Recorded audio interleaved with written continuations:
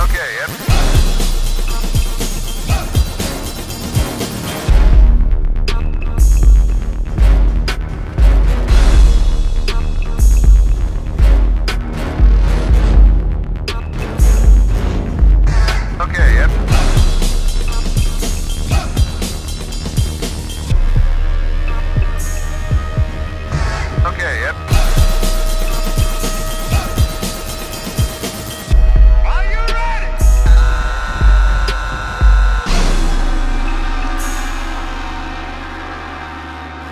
Say, children, what does it all mean?